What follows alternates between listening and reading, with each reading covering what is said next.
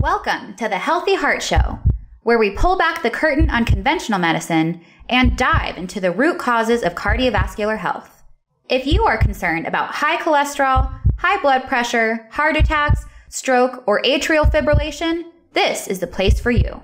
We will provide natural heart information that will help you prevent, treat, and reverse any ailment, leaving pills and procedures out of the picture. Here are your guides to holistic heart health board certified cardiologist and Amazon best-selling author, Dr. Jack Wolfson, and natural heart doctor, naturopathic physician, Dr. Lauren Lattanza. Hello, everyone. Dr. Jack Wolfson, board certified cardiologist. Welcome to another episode of the Healthy Heart Show, where we try and give you the best heart health information so you can lead your best life and ultimately obtain that 100 year heart. And if you're thinking about the 100 year heart, there's no greater authority to get you there than my guest today on this podcast. This is Dr. Steven Gundry. First of all, let me say hello, Dr. Gundry. Hey, thanks for having me on the Healthy Heart Show. Appreciate it. Great, to, great to have you here. And again, you know, if you don't know Dr. Gundry, I don't know where you've been. Certainly, you've not been uh, uh, looking at, at actual health. Maybe if you've only been listening to your traditional medical doctor's opinions, uh, you're not going to hear about Dr. Gundry, but since you're here on my show, you likely have. Well, listen, he is one of the world's top cardiothoracic surgeons and a pioneer in nutrition, as well as a, the medical director at the International Heart and Lung Institute Center for Restorative Medicine, and that's in Palm Springs, Palm Desert. Yes. Palm Springs and also Santa Barbara and also in Santa Barbara. So, two phenomenal locations to go visit. He spent the last two decades studying the microbiome and now helps patients use diet and nutrition as a key form of treatment. He's the author of many New York Times best-selling books, including, of course, The Plant Paradox, which was the original that just really just changed so many people's minds as to as to I thought all plants were actually healthy and plant-based was the way to go. And now you read Plant Paradox and you're like, wait a second. Uh, that's the point. There is a paradox to the benefits of eating plants, and contrary to what many people would think. Uh, of course, the cookbooks. Then he comes up with the longevity uh, paradox, the energy paradox, and now the latest that we're going to dive into is unlocking the keto code, which I have read. And it is it, it is just groundbreaking. And whatever you think you know about keto, if you're into keto, uh, you're going to learn a lot from from reading Dr. Gundry's uh, new book. He's also the founder of Gundry MD, where he's got a full line of wellness products, supplements, and he's the host of the Dr. Gundry podcast. And Dr. Gundry, this isn't even talking about all of your accolades as a cardiovascular surgeon, right? So, right. Uh, uh, help me out here. Uh, uh, tell me, tell me some of your some of your backstory of again. You know, what was your interest in becoming a cardiovascular surgeon? Your life as a surgeon. Tell me about your your uh, nutritional and wellness training as a cardiovascular surgeon. Well, actually, I, I decided to become a doctor uh, at age ten after reading a book in my grade school library called "All About You." And uh, I actually, that was the day I decided to, to be a doctor and never looked back. I was blessed by having uh, some great mentors in medical school at the Medical College of Georgia in Augusta, who, who literally took me under their arm. a wonderful pediatric cardiologist um, who uh, kind of made me see patients all the time. And he says, you know, you're going to be a great pediatric cardiologist. And I said, well, you know, I love to find out what's wrong, but I think I like fixing what's wrong better. And so uh, my mentor, uh, Robert Ellison, um, said, you got to go to the University of Michigan and get trained. And uh, when I got to the University of Michigan, I met one of the fellow residents who was just the best surgeon I'd ever met. I said, gee, you know, how'd you get so good?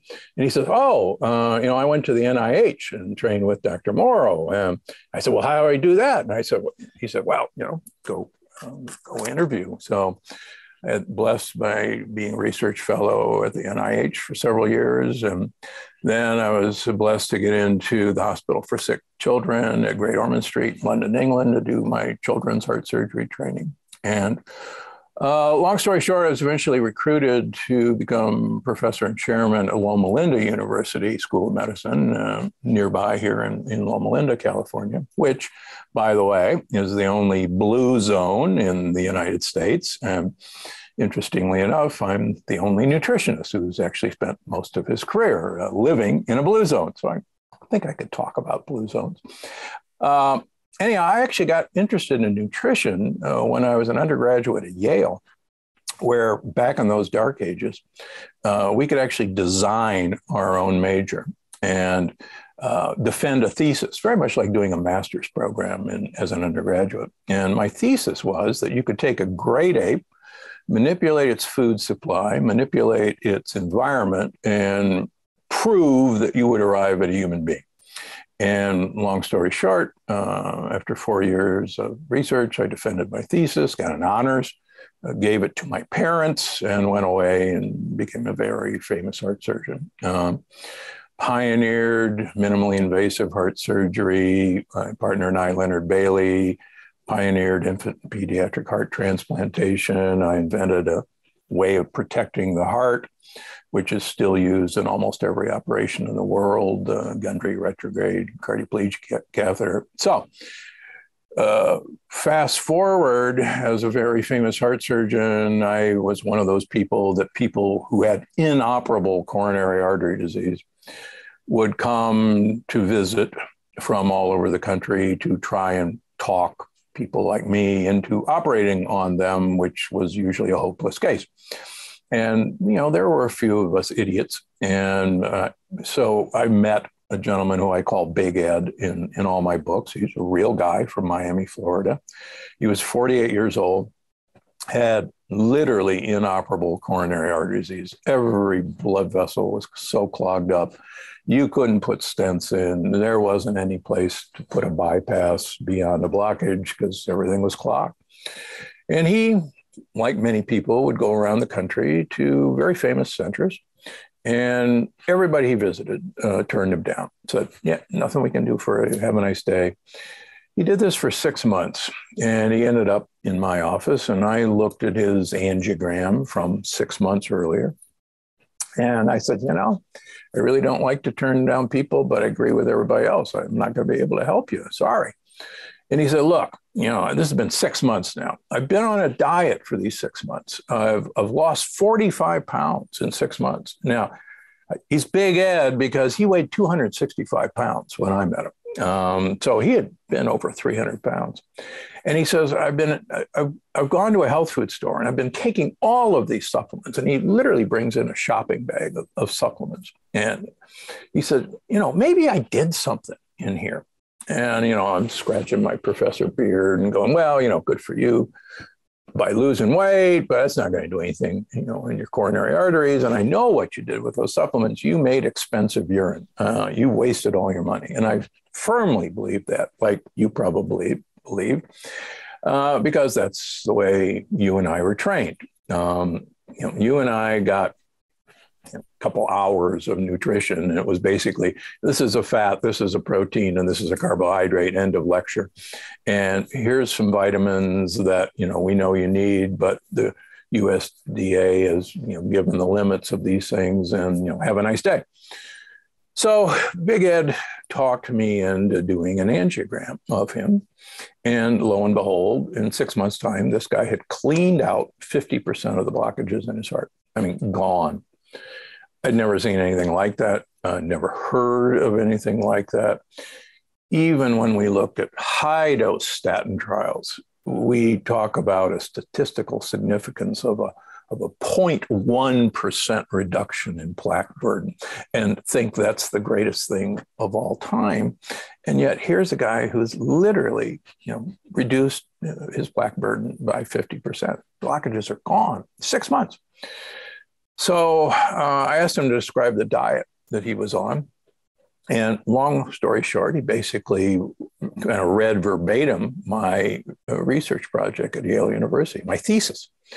Uh, and primarily, quite frankly, a plant based diet, but very different plant based diet based on evolution.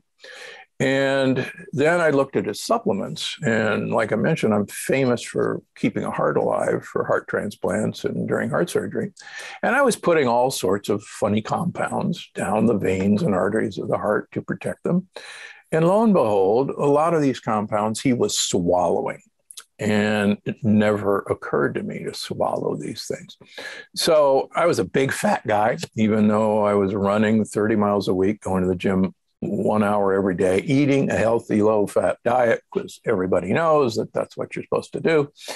And I had high cholesterol, prediabetes, hypertension, migraine headaches, arthritis so bad I wore braces on my knees to run, and figured, well, that's you know that's my genetics. And when I started putting myself on my own program, I lost 50 pounds my first year, subsequently lost another 20 pounds, and have kept it off for 25 years. So the biggest mistake I made was people I would operate on uh, I put them on this program. And uh, lo and behold, uh, their diabetes regressed, their hypertension regressed, their arthritis regressed. And so, after about a year of doing this at Loma Linda, uh, I had an epiphany one Friday morning looking in the mirror before I went to work. I said, You know, I've got this all wrong. I shouldn't operate on people and teach them how to eat so they'll avoid me in the future. I said, I got to teach them how to eat so I never have to operate on. Now, as a career choice for a heart surgeon, that's that's really dumb. I mean, that's really dumb, as my wife would remind me for many, many years.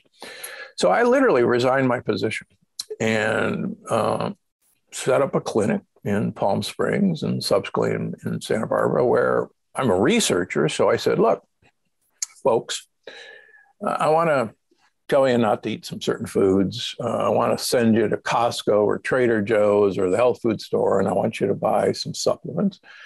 I want to draw your blood every three months, and let's see what happens. And then, lo and behold, we saw what happened. I started publishing my results at the American Heart Association and the American College of Cardiology, etc. And that resulted in um, probably you know my most famous book, The Plant Paradox, um, where I made the case that a lot of the healthy foods you think are good for you are you know are killing you, and here's what to do. And it spent almost a year on the New York Times bestseller list. It's still a bestseller on Amazon, and um, the rest is history. No, that's uh, uh, fantastic, uh, and I think you know again, uh, you know again, the, the, cardiovascular surgeons, you know, it's like you get to, you know, it's like the top of the cardiovascular or the top of the uh, uh, health educational food chain. I mean, such notoriety. When I was a when I was a young single cardiologist in Arizona, and I first got out there, and I was hanging out with a guy who was the cardiovascular surgeon, and kind of I would always defer to him if we'd be out and in public and talking with people and maybe talking to a couple of women. I'd say, "Well, I'm a cardiologist, but he's the surgeon. Like, you know, he's he's the real deal guy. he's but Top Gun. he is he is, he is Top Gun, certainly in the heart world. Uh, you know, so again, uh, and I think you know, just like you said, it is such the epiphany moment, but also where your wife would come in and say, "You know what?" uh, more than likely you're doing very well financially as a cardiovascular surgeon, and myself doing very well financially as a cardiologist, as a senior partner in the biggest group in the state of Arizona. And to leave that, uh, and to number one, uh, you know, allow yourself to have that epiphany to say, well, hey, there's a better way uh, and a different way to tackle cardiovascular disease and give people the best. Uh, but then also, right, the financial ramifications of that jump. But I'm sure myself, like you, you look in the mirror and say, hey, um, you know, I, I, I, I'm about a bigger purpose than just, you know, than just the paycheck. And, and, you know, to have children, I've got four children and proverbially, right, on your deathbed, you look at your children and say, well, you know, I did it this way. I should have done it this way, but I was worried about the money. So I stuck with it. Yeah. Let me uh, uh, let me ask you this. Now, back in the year 2000, maybe you were there. I'm a, I was a fellow, and I was down in Orlando, and I saw a debate between the late Robert Atkins and Dean Ornish. And they, they were up on stage, as you know, in front of thousands and thousands of people, each staking their claim. And uh, from what I could tell, like those guys hated each other. Like, I mean, there, there was a serious disdain, uh, you know, for them. And that was kind of my first introduction really into nutrition and even the conversation. And I was already a cardiology fellow by that point. So four years of osteopathic medical school, three years internal medicine, and you know now I'm a cardiology fellow, and I hear that uh, and I hear that debate. So again, coming from you, such you know such an authority to see what you've seen. Let me ask you because I know you talk about this uh, in in your new book as well, where you talk about time restricted feeding. and Yep. how benefit beneficial that is. And we we in our office in our team we talk about that you know about the sunshine schedule. So making sure you're eating certainly within you know that's when it's sunny outside, when it's light outside, never eating when it's dark. But my thought on this, I think you you really summed it up with your patient. If we go into fasting, and what about even prolonged fasting where we do 24, 36, 72 hour fasting, and now the body is looking for food for fuel, will it start to break down coronary artery plaque and calcifications because it needs it needs fuel. And at the end of the day i can't imagine the body would defer to break down brain and muscle tissue. It's going to break down fat. It's going to break down things that it deems unnecessary. And i would think plaque would be would be part of that. Yeah, that's that's a good observation. Um, you know, wh- whenever we're starving, uh, we obviously kind of don't care about unnecessary parts of us. Uh, I see a number of people, particularly women, who go on a, a fairly vigorous weight reduction diet, diet, and that can include fasting, and their their hair thins out and their hair kind of falls out, and they they panic and they go, "Oh my gosh, you know, my thyroid, it's my thyroid," and we look at their thyroid numbers and they're fabulous. And I said, look, your body is saying, hey, you know, this is this is expendable. I have no need for hair. It requires protein to make. And so for a while, we're just going to cut back on hair production because we need it for better, other things. I think the same thing uh, holds true, uh, certainly for uh, plaque and coronary arteries. I happen to think there's even a, a bigger driving factor. For instance, um, any of us who uh, do weights or use barbells and are married and have a wedding ring, you know, we develop calluses on either side of our wedding ring. And those calluses are layer and layer and layer of you know dead skin, basically, to protect against the trauma. And one of my arguments that I actually learned from Michael DeBakey was that we put calluses on our coronary arteries because of to protect against inflammation. And that callus keeps getting deposited. And what i learned from big ed is if you no longer have a driver of inflammation which i personally think comes from leaky gut then there's no need for those calluses and they regress. So i think that's another way of looking at the same thing you're saying yeah, leaky gut. You know, when I first met my wife, who would kind of uh, pull me out of the matrix, if you will, open up my eyes back in 2005. Um, and at that time, you know, I'll tell you, Dr. Gundry, my, you know, again, obviously we see, you know, sickness all around us. And I saw sickness in my own father, who uh, is, is a cardiologist.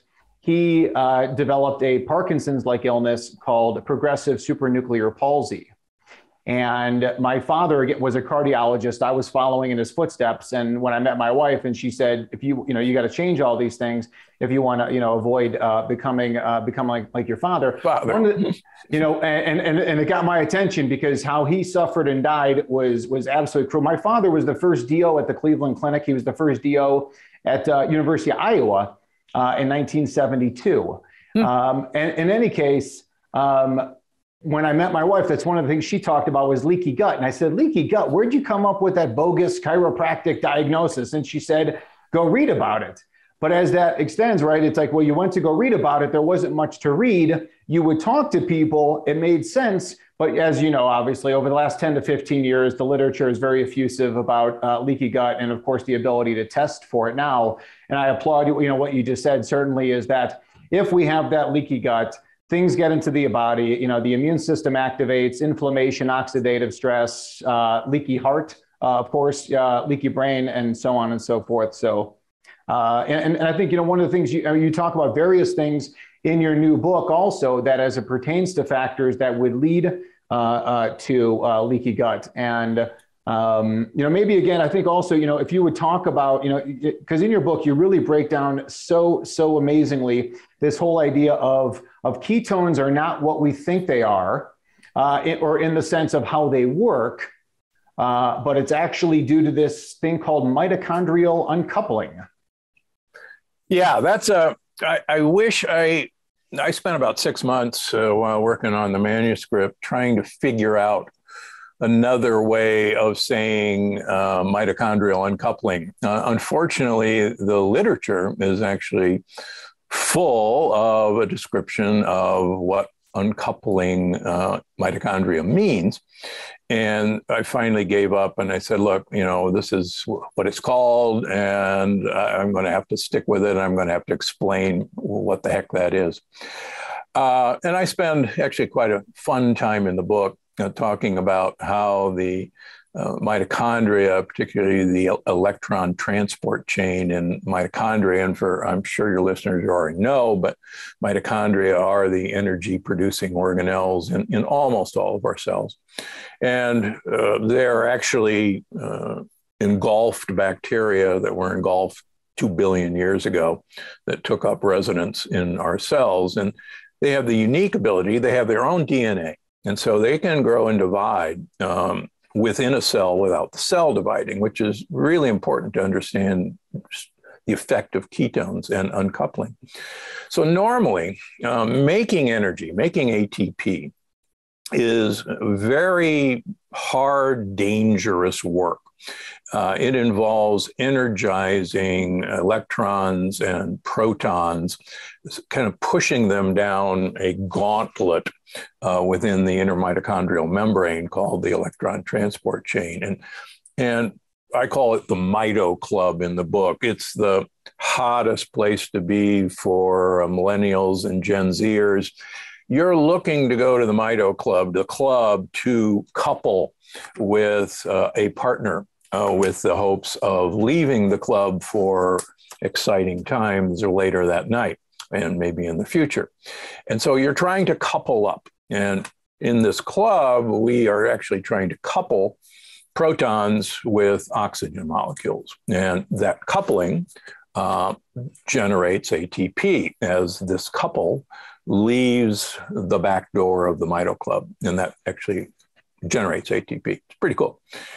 Unfortunately, there's also lots of other people that want to couple. Uh, electrons would be would love to couple with oxygen as well, but when electrons couple with oxygen, you get free radicals and reactive oxygen species, which are actually pretty dangerous characters. We have a really unique antioxidant system in mitochondria, basically bouncers in a club that try to keep this level of craziness under control. And one of the interesting things I learned in researching this is there are only two mitochondrial anti- antioxidants. One of them surprises everybody, and it's melatonin, the sleep hormone. And I argue in the book that we should stop considering melatonin a sleep hormone and consider it the most effective mitochondrial antioxidant there is. And number two, glut- glutathione all the other things we call antioxidants, like vitamin C and vitamin E, in fact, have not only no influence in mitochondrial antioxidant status, but may actually be harmful. But that's another subject. So, uh, things are steamy in the club. Things get out of hand. There's hormones raging. There's beer and other mixed drinks, and people are drunk. Punches are being thrown, and there has to be a way to release this pressure. There's only so many people who are going to couple up. So we have a unique design that was discovered actually in 1978 that there should be emergency exits in mitochondria so that we could literally blow off pressure in the mitochondria to protect the mitochondria from damage. Very much like a pressure cooker has a release valve so that the pressure in the pressure cooker gets too high, you know, the steam starts escaping and it escapes until the pressure is under control again. Uh, my mother blew up a pressure cooker when I was growing up. It was really exciting. I still remember it uh, everywhere on the ceiling. Uh, those were the good old days. So we now know that we have these pressure release valves, and they're controlled by what are called uncoupling proteins. And we actually have five pressure release valves. Now, what's fascinating? So we uncouple protons from oxygen so that we don't make as much ATP as possible. Now, what's really surprising is at rest, you and me, 30% of all the fuel entering our mitochondria to produce ATP never makes it into ATP production, but is instead uncoupled and released through these emergency exits, through these uh, pressure release valve. 30%. Now you say, wow, you know, what a stupid design uh, for an animal that you got to eat 30 more, 30% more calories to generate the amount of ATP you need. Uh, why? Uh, we don't do things stupidly. Um, and it turns out that when we release these pressure valves, it generates heat. And we're warm blooded animals. And so the heat production is part of that. And in fact, cold blooded animals actually aren't cold blooded. They still have to have a basal temperature. So even cold blooded animals use uh, mitochondrial uncoupling to generate heat. One of the best examples is most people now know about brown fat. Uh, brown fat is brown and it's heat producing fat. It has so many mitochondria that when we look at it under the microscope, it literally looks brown because it's so packly dense, densely packed with mitochondria. And these guys uncouple aggressively and create heat and waste calories. So that's a long winded way of saying, okay, so what do ketones do? Well, I and others, uh, and I have uh, a fun time uh, so showing some quotes from well-known keto experts, uh, published quotes, and I don't give their names out to protect my friends. Uh, but you know, ketones are the perfect fuel. Uh, glucose is a dirty fuel. Ketones are clean burning fuel. Uh, the liver loves ketones, et cetera, et cetera. Um, when you become keto adapted, you become efficient fat burner. Well, nothing could be further from the truth. Um, ketones are produced, number one, when we're starving. And when we're starving, we normally would release free fatty acids from our fat cells, which can be used as a fuel by every cell in our body, with one exception. Free fatty acids are big fat lipid molecules that are fat soluble and they can't get through the blood brain barrier into our brain. Uh, they can, but it's a really slow process. So, what happens is, if we're lucky, uh, these free fatty acids go to our liver. The liver converts them into short chain fatty acids, which are water soluble, called ketones or ketone bodies. The liver can't use ketones. So, the liver throws them out back into circulation where they get through the blood brain barrier and the brain can temporarily use ketones to basically hold the line, stay alive until better times arrive. The original ketone diet, ketogenic diet, was actually uh, discovered and actually named at the Mayo Clinic in the 1930s as a treatment for seizure disorders in kids. And sadly, it was noted that kids who had severe seizure disorders were in a post-ictal state so many times that they were literally starving. And when they were having all these seizures, the more they kind of weren't eating, their seizures abated until they started eating again. And then their seizures came right back. And smart researchers at Boston and then Mayo said, Whoa, there's something about these kids starving that's turning off their seizures. And they stuck upon ketone bodies. And so the original ketogenic diet was an 80% fat diet, a 10% carbohydrate diet, and a 10% protein diet. And it was actually quite miraculous in treating childhood seizures. And this was before dilantin and phenobarb and all the other ones. And it did great up until these drugs came along and the, the diet fell out by the wayside. Why? because those of us who have kids and now grandkids uh, know it is really hard to get a kid not to eat carbohydrates. Um, kids are carbohydrate seeking you know missiles and it's really hard to stop them and that was one of the downsides of the diet so fast forward to the 80s and 90s when a lot of kids did not do well on anti seizure medications. They struggled in school, their brains didn't work right. So people said, gee, what if we used a different form of fat? And that is MCT oil, medium mm-hmm. chain triglycerides. Medium chain triglycerides are unique in that they're absorbed directly from our gut and go to the liver directly, where they're converted automatically into ketones. So, what was amazing was you could put kids on an MCT oil diet, much less fat, far more carbohydrates, far more proteins, and you'd get the same effect as if they were eating a high fat ketogenic diet. Why? Because the MCTs automatically produce ketones, even if the kids were eating a lot of carbohydrates. And I joke, and I'm not recommending this, you could eat a fresh fruit salad, please don't, and have a couple tablespoons of MCT oil, and you will generate ketones despite being overwhelmed by glucose from the and fructose from the fruit. So that actually got me fascinated, uh, and I went back and looked at. I've been having my patients do a ketogenic diet for cancer, for uh, dementia, for um, diabetes, prediabetes, and it's been very effective. And yet, uh, it was based on an MCT oil based diet and actually quite a lot of carbohydrates. If you look at my ketogenic diet, there's a lot of carbs in that diet. And yet it was very effective. And I could show that people were in ketosis. Uh, and so I went back and went, son of a gun, I'm so stupid. Um, these ketones are doing something completely different than what I thought. And lo and behold, when you start looking at how ketones work, uh, you realize that ketones weren't the super fuel that all of us were taught.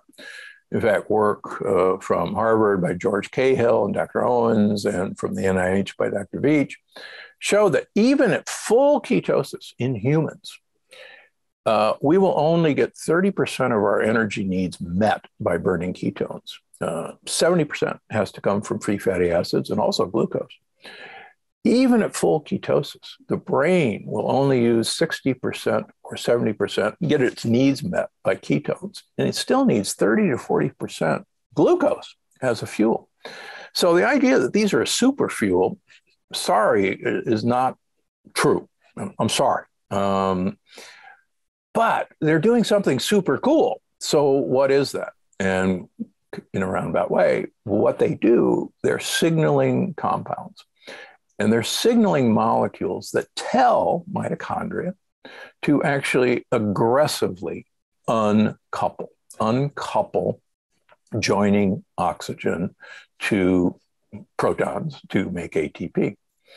And one of the real epiphanies in, in this search was a, a small paper written by Dr. Martin Brand in the year 2000.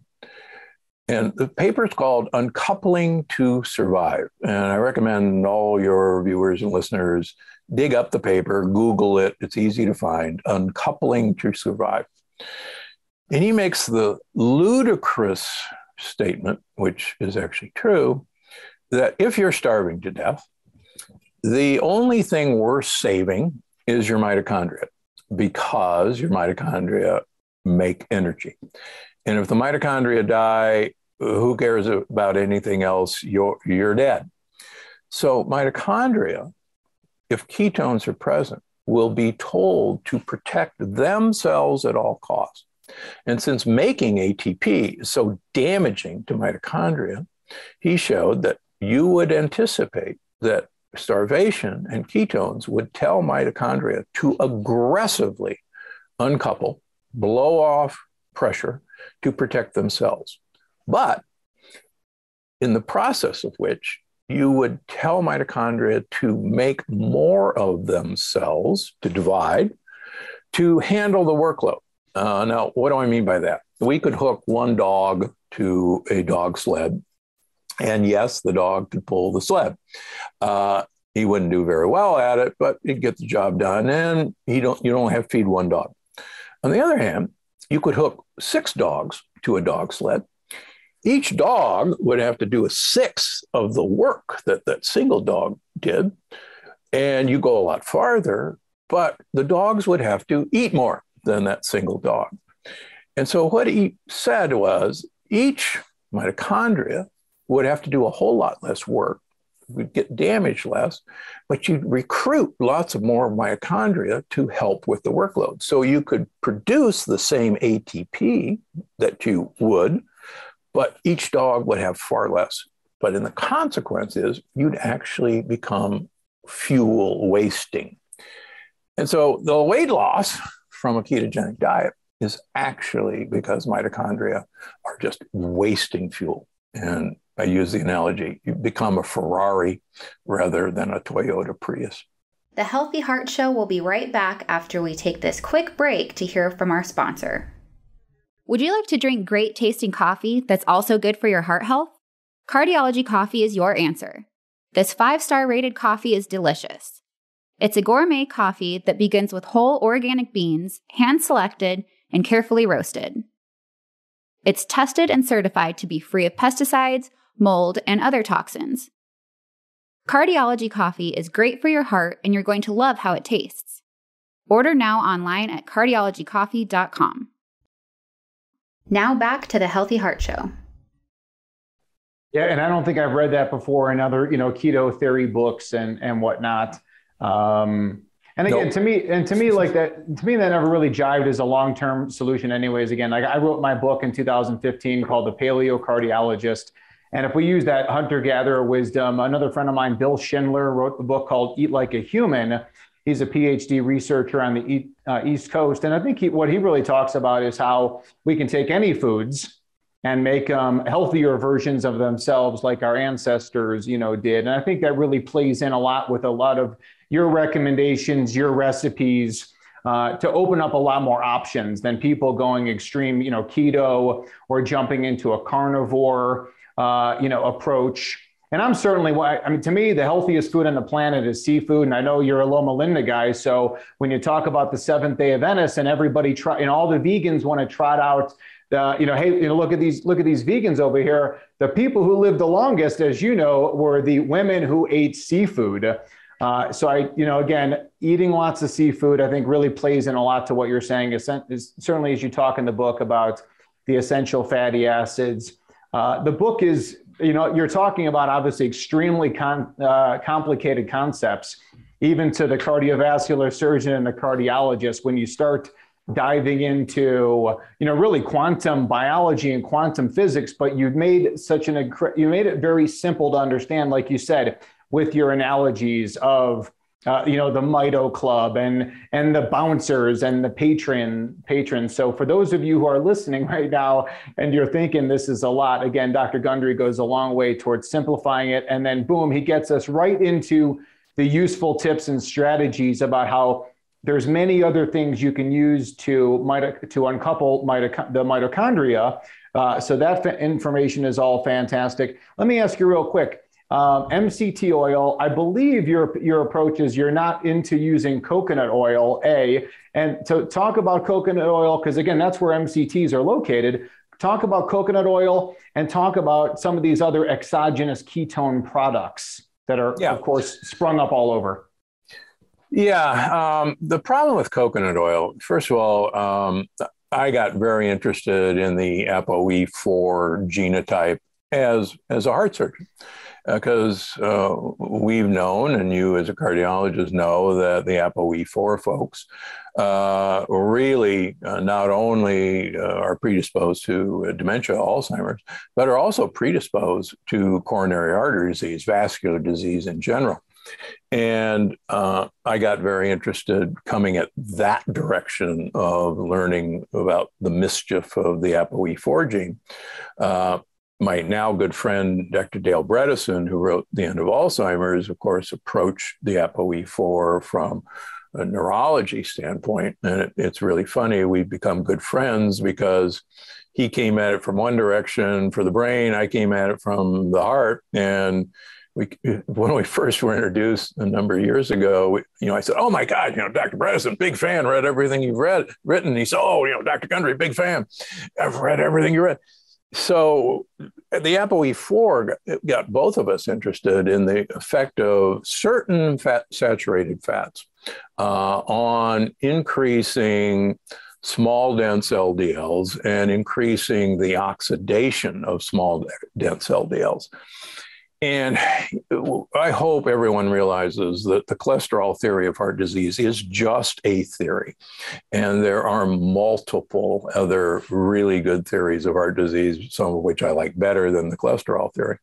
But uh, I do, if you like the cholesterol theory of heart disease, then I think we should be attuned to whether or not cholesterol particles are oxidized, whether they're rusty or rancid. Um, and I noticed through the years that my patients who ate a lot of saturated fats, including coconut oil, uh, definitely had much higher numbers of small dense LDLs, regardless of what else they were eating, and would also oxidize their cholesterol. So, coconut oil was often right up there on the top of the things I banned. Now, you're correct.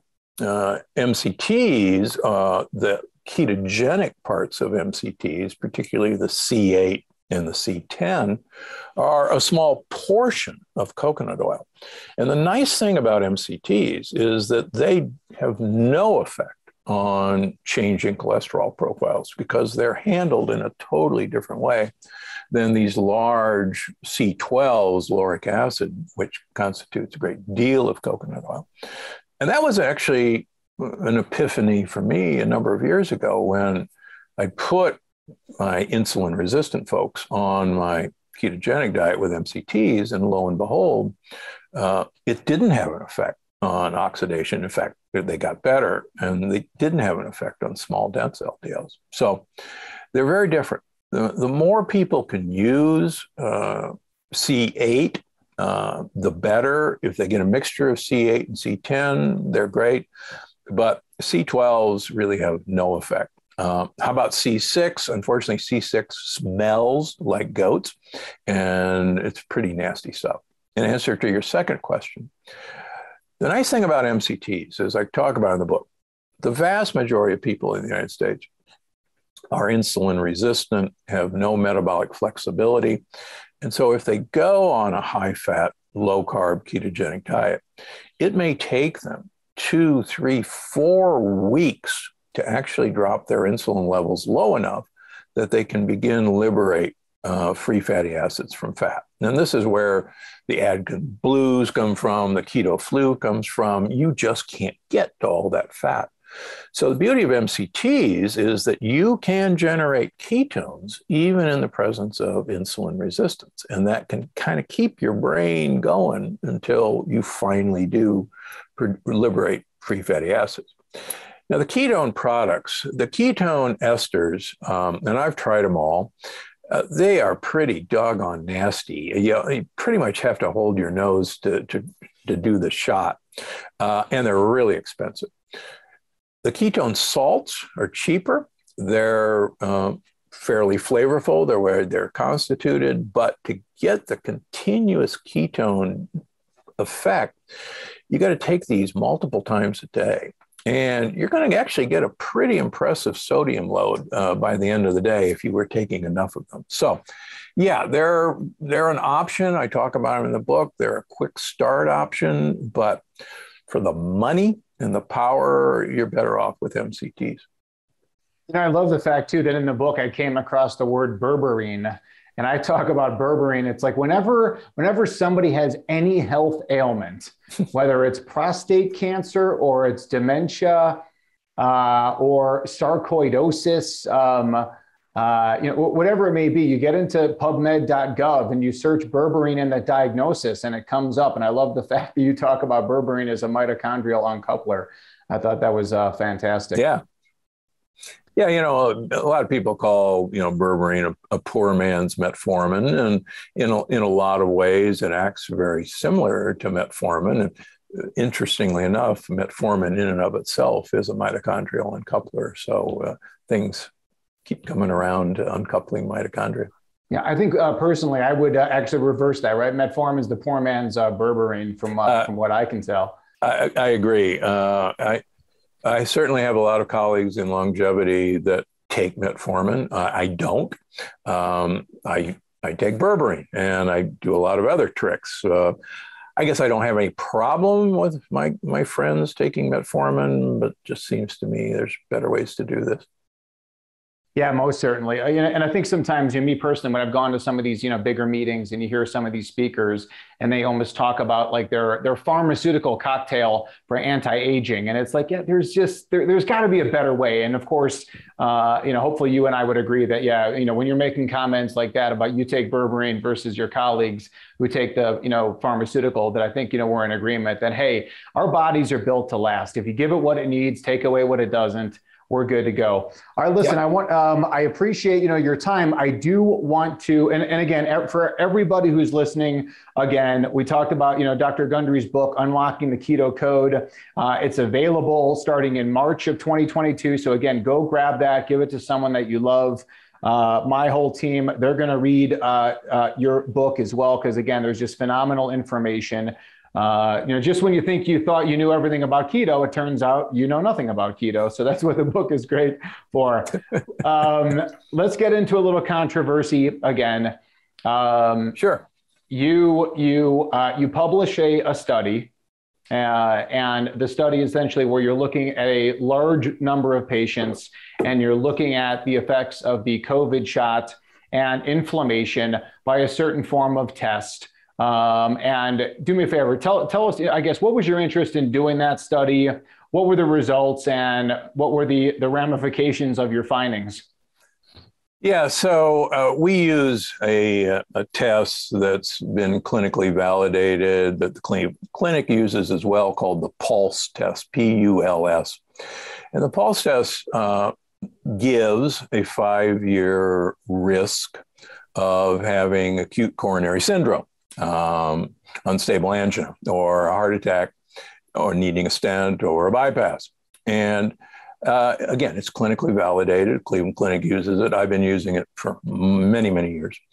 And uh, this test, after uh, when the mRNA vaccines came out, we noticed, uh, my PA and I noticed that, holy cow, uh, all of a sudden, this uh, predictive value of having a heart attack in the next five years uh, doubled uh, in most people. And when we looked at the various markers that this test measures, three distinct markers uh, went up uh, 95% of people who got the mRNA vaccines.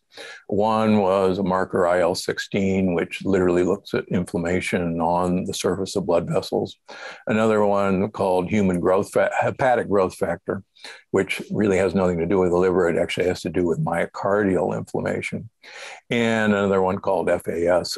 Uh, these all three went up. When the second shot came in, they went up even higher. And it was consistent across the board. Now, interestingly enough, we didn't see it very much with the Johnson and Johnson vaccine, which is a different technology. So we started tracking this, and we tracked it for about a year. And I said, you know, this is actually scary, and somebody has to say something about this. So, uh, literally on the last day to submit the abstract, to the annual meeting of the American Heart Association, I pulled the trigger and submitted my abstract. But I did it in a way that I thought they would reject it. I didn't put any statistics in the paper. And I thought for sure the lack of statistics would, you know, put a red flag on it and they'd just reject it. And then I could live with myself. Yeah, I tried to tell people. Well, lo and behold, the program committee accepted it uh, for a presentation. And I'm going, oh, great. So it got published, and uh, immediately the uh, let's just say the anti-vax community went hog wild. Um, it became you know the paper that proved what everybody was trying to say. Uh, apparently, I became best friends with Robert F. Kennedy Jr., but that's another story. And so, almost like the day after it was published, uh, the American Heart Association put a red flag on the paper saying, uh, There's some questions about this paper, and we're going to remove it until the questions are resolved. And it had to do with a couple of misspellings. I, I, I write all my own papers, my own abstracts. Uh, you know, I do spell check and sometimes spell check miss. Um, every one of the books I write, um, we have two proofreaders, me and my editor, and we still miss, miss misspellings. It's pretty hilarious. So anyhow, but that's why they flagged it. And so they wrote me a letter and from the chairman of the program committee said, you know, you have to answer all these questions uh, in 24 hours or we're pulling the paper. And I'm going, whoa, you know, this is this is pretty impressive. So I answered all their questions. I said, look, you know, I'm not some Joe Blow practicing, you know, restorative medicine. I used to be on the program committee of the American Heart Association. I used to be on the program committee of the American College of Cardiology. I know how this system works. You know, I graded papers. You know, I'm, I was a professor and chairman. Blah blah blah. And I said, I'm not, I'm not the bad guy here, but we're supposed to do no harm. And the American Heart Association is supposed to look out for the hearts of people. And I said, This is, you know, I'm sorry that this is what it says, but that's why we need to go forward. And so I toned them down. They said, Yeah, but we're gonna we got to damp down this this language. So I get a cold cold call from the CEO of the pulse test, who is a physician, and he says, Hey, um, saw your paper. Thank you very much. Uh, we had a paper in progress that shows exactly the same thing with all of our patients across all the various people who use this. And thank you so much for publishing this because now the heat's off of us. But I just wanted to assure you that you're correct. This is exactly what we see. And he said it should be as no surprise because you're telling the body to produce the spike protein, which is the inflammatory protein that causes the cytokine storm. And he says, it should be of no surprise to anybody. So I went back to the American Heart Association as chairman. We kind of became good friends, I guess. Um, and I said, you know, here he'll he'll send you the data. He, and I said, we got to let people know. He said, no. He says that's not our job. Uh, the FDA and the CDC is looking out for people's uh, effects. That's not your job, and it's not my job. And he said, you either need to, you know, dilute this paper to nothing, or we're pulling it. And so uh, this went on for about three weeks, and finally we arrived at a diluted paper that at least got the point out, but and I, so I'd call the guy from PULSE and I said, Hey, you know, what's the, what's the deal? Why, why this pushback? He said, Really? Are you that dumb? He said, Where do you think the funding for the American Heart comes from? And where do you think this professor's funding comes from? And I said, Yeah, I said, Oh, please don't tell me. And he said, Yeah. And so, yeah, there was tremendous pushback on this. I can imagine. I mean, again, just as you comb through the, uh, you know the pages of any of these medical journals, right? I mean, every other page is an advertisement from a pharmaceutical company. So uh, you know, right? And if it's in uh, the American Heart Association, American College of Cardiology, if it's not to protect the public's you know interest, I mean, what is yeah, what what is what you know, what is their mandate? And again, they only exist uh, at this point in time, you know, probably for the last hundred years, right? Just to uh, put forth the efforts of pharmaceutical companies. So again, I, I applaud you for for sticking your neck out there for that paper. Uh, and again, for me, you know, most of my most of my patients, clients uh, did not get uh, any shot, but those who did, maybe didn't, who didn't get my memo, we saw. Uh, uh, two strokes, we saw cardiac arrests, we saw myocardial infarction. Obviously, whenever you stimulate inflammation, you're going to see a lot of AFib, a lot of yep PVCs, a lot of AFib. PVCs. We saw a ton of that. Um, a uh, one of my best friends from medical school, who's the head of cancer at a well-known East Coast institution, he came down with Bell's palsy. 50, uh, 51 year old guy, uh, face dramatically affected. He still refuses to believe that that's what it was from. Yet I showed him, um, you know, obviously whether it's in you know vaccine adverse events reporting system about Bell's palsy. He sends me an article say, showing that, well, the risk of getting Bell's was higher in COVID patients than if you were, you know, than than those who got the shot. In that same article, they talk about the randomized, you know, trial that showed seven cases of Bell's in the vaccine group, one in the control group. Not statistically significant, but, but interesting. I said, but I said, you know, and even the authors comment that this needs to look into. But I said to my buddy who thought he was sending me an article saying, hey, COVID's worse. And I send him back. I said, oh my God, seven versus one. Um, in any case, I appreciate you uh, putting it out there and uh, know that for, you know, for sticking your head out, you know, you got a friend over here, that's for sure. Um, anywho, Dr. Steven Gundry, uh, again, I could talk to you for hours, so much to unpack. I, you know, I didn't even go into how I'd love to insult cardiovascular uh, surgeons uh, and other cardiologists. Maybe we could do that at another time. You know, again, I think you'll agree. There's a time and a place for emergency medicine. There's a time and a oh, place yeah. for trauma and certain things we can't do. But again, when when it comes to the prevention side of things, all of us medical doctors, we you know we, we graduate from our training with zero knowledge in actual prevention. So when you talk about nutrition, you talk in your book about sleep you know, we talk about sunshine, environmental toxins, pollutants, uh, the pandemic of mold mycotoxicity, environmental toxins, the pesticides, all these things. So, again, the more you and I get to educate people, the better. Uh, and again, thank you for being on this episode of the Healthy Heart Show. Well, thanks for having me. I really appreciate it, Jack. And uh, uh good luck with your efforts. We'll uh, we'll be out there uh, fighting the good fight, hopefully. Thank you so much, Dr. Steven Gundry. Uh, everyone, thank you so much for listening to another episode of the Healthy Heart Show. We'll come back with more information for you to help you on your path to the 100 year heart. Be well. That does it for today's episode. Thanks so much for listening to the Healthy Heart Show. Please help us get the word out by liking and subscribing to our podcast and our Facebook page, Natural Heart Doctor. Please show support for our podcast sponsor, Cardiology Coffee, your resource for organic, antioxidant rich, mold and pesticide free coffee shipped straight to your door. Learn more by adding at Cardiology Coffee on Instagram and visiting cardiologycoffee.com. This podcast provides materials for information and educational purposes only and should not be considered medical advice. We encourage you to contact your physician for any of the health issues discussed here.